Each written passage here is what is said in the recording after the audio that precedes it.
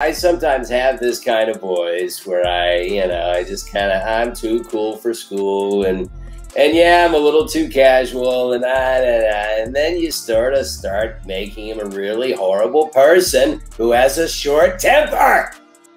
And before you know it, you're Hidan. Careful. You want to watch making threats like that. When people get all full of themselves and start throwing around a lot of tough talk, it really gets me annoyed. And when I get annoyed, pretty soon I get mad, and then I lose my temper. Shut up, Hidan.